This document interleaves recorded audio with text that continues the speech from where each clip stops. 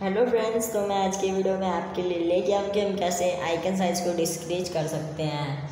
तो चलिए मैं आज की वीडियो स्टार्ट करते हैं। तो वीडियो स्टार्ट करने से पहले लाइक करें। चैनल को सब्सक्राइब करें और बेल आइकन दबाना ना भूलें। तो गैस आपको क्या लेना है? आपको यहाँ पे जाना है मोबाइल सेटिंग पे। तो हम यहाँ पे मोबाइल सेटिंग में चलते हैं और ये आपको रेडमी का फ़ोन दिया गया है। तो क्या जैसे मैं आपको बता दूँ, आपके यहाँ मोबाइल सेटिंग का आइकन दिया गया है, जिसको हम कर ले, पहले ओपन तो हम यहाँ पे ओपन कर लेते हैं। तो गैस हमने यहाँ पे ओपन कर लिया ओपन कर लेने के बाद आपको गैस क्या कर लेना है यहाँ पे आपको जाना है गैस मोबाइल सेटिंग में आपको जाना होम स्क्रीन पे और गैस यहाँ पे आपको देख सकते हैं आपके यहाँ पे काफ़ी सारी फ़ंक्शंस दिख जाती है तो गैस जैसे कि मैं आपको बता दूँ आपके यहाँ पे क्या लेना मोबाइल सेटिंग में होम स्क्रीन पे जाना तो यहाँ पे मैं होम स्क्रीन को ओपन कर लेता हूँ आप गए यहाँ पे जैसे कि मैं देख सकते हैं आपके यहाँ पे मैंने होम स्क्रीन को ओपन कर लिया है अब गए यहाँ पे आपको क्या लेना है आपके यहाँ पे जाना है गैस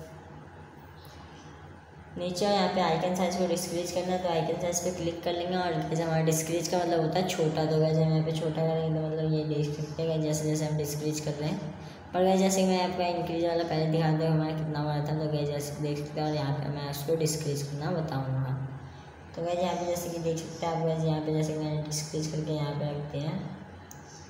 और गैस यहाँ पे जैसे मैं मीडियम साइज़ में रख देता हूँ, यहाँ से मैं बैठ आ जाता हूँ। क्योंकि मैं आपको वैसे क्या कर लेता हूँ दिखाता हूँ। तो गैस जैसे कि आप देख सकते हैं आपको यहाँ पे क्या है, हमारा जो हो चुका है मतलब छोटा हो चुका है। तो गैस यहीं पे मेरी वीडियो समाप्त होती है और अगली वीडियो के लिए हमारे साथ बने रहें। अगर आपको वीडियो पसंद आए तो लाइक करें, चैनल को सब्सक्राइब करें और बेल आइकन दबाना ना भूलें। Thank you